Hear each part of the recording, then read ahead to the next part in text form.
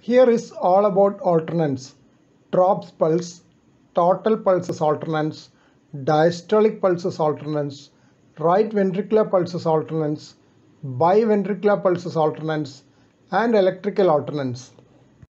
Pulsus alternans or Traube's pulse was described by Ludwig Traube in 1872. Pulsus alternans is nothing but alternating pulses having different volumes and is a feature of left ventricular dysfunction. It is well known that pulsus alternans can be augmented by a premature ventricular contraction. Please subscribe to this channel for future updates. Click on the subscribe button. Press the bell icon after that for all updates. A rare case of pulsus alternans due to 2 is to 1 left bundle branch block has also been described. The patient had normal coronaries and left ventricular ejection fraction of 50%. Dyssynchrony associated with LBBB was thought to reduce left ventricular output during block and consequent lower pulse volume in alternating beats. Pulsus alternans with diastolic left ventricular dysfunction in the absence of systolic dysfunction was noted in a case of renal artery stenosis and pulmonary edema. The pulsus alternans in this case disappeared after renal revascularization. Treatment of heart failure causes improvement in pulsus alternans. Similarly, improvement in pulsus alternans by ventilator therapy has been documented. First set of references for pulsus alternans. Second set of references for pulsus alternans. Total pulsus alternans or pulsus alternans totalis occurs when the force of contraction is so low in alternating beats that aortic valve fails to open. It can be documented by simultaneous pulse and ECG recording. In an interesting case report, ECG monitor showed a rate of 160 per minute due to atrial tachycardia, while simultaneous pulse tracing showed a pulse rate of 80 per minute. There was tachycardiomyopathy due to incessant tachycardia producing left ventricular dysfunction. Pulsus alternans was abolished after successful radiofrequency catheter ablation of the atrial tachycardia. Reference for pulsus alternans totalis. Though there is no pulse felt in diastole, diastolic pulsus alternans has been described as the alternation of mitral inflow velocities. In one case, it was due to dilated cardiomyopathy and pulmonary embolism.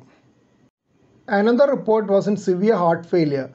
Alternation in ventricular diastolic function can be documented both by Doppler echo and tissue Doppler imaging. Earlier description of diastolic pulsus alternans was alternation in left ventricular diastolic pressures as in case of hypertrophic cardiomyopathy. First set of references on diastolic pulsus alternans. Second set of references on diastolic pulsus alternans.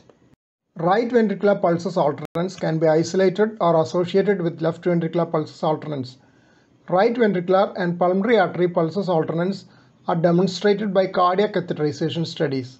In one case of right ventricular pulsus alternans, due to right ventricular infarction, improvement was obtained by coronary sinus pacing. Doppler alternans and murmur alternans corresponding to right ventricular pulsus alternans has been noted in critical pulmonary stenosis with right ventricular dysfunction. Pulmonary embolism and pulmonary hypertension are other situations in which right-sided pulsus alternans can be observed. A rare occurrence of right-sided pulsus alternans was in a case of prosthetic mitral valve thrombosis. In another interesting case of right ventricular pulsus alternans in left ventricular diastolic dysfunction, pulsus alternans was demonstrated in right ventricle pulmonary artery and pulmonary artery wedge positions but not in the left ventricle or aorta. Here are the first set of references on RV pulsus alternans.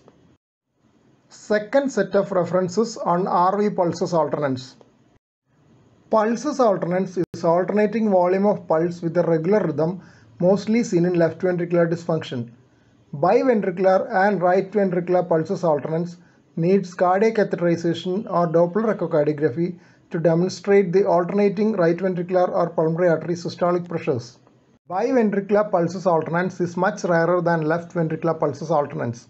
One case reported was biventricular pulsus alternans due to anterior myocardial infarction. Another report was a demonstration of biventricular pulsus alternans by echocardiography in a case of pulmonary embolism. A combination of dilated cardiomyopathy and pulmonary embolism was responsible for biventricular pulsus alternans in another case. Demonstration of alternans was the alternating LV and RV outflow velocities. Diastolic alternans was also described in inflow velocities, though strictly the term diastolic pulsus alternans is not ideal because there is no pulse in diastole. References for biventricular pulsus alternans.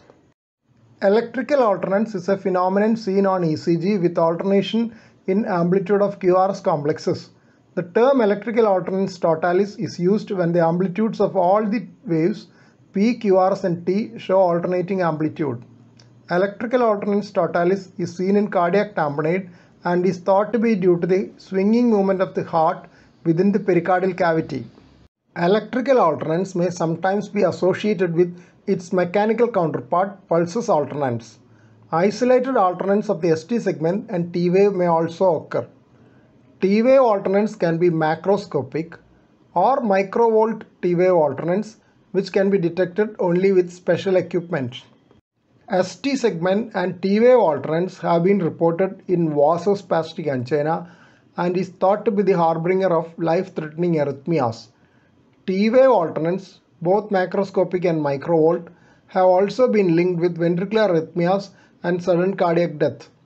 T-wave alternans has been noted in congenital long QT syndrome preceding torsades de pointes. Please don't forget to subscribe to this channel for future updates and click on the bell icon for all updates. Thank you.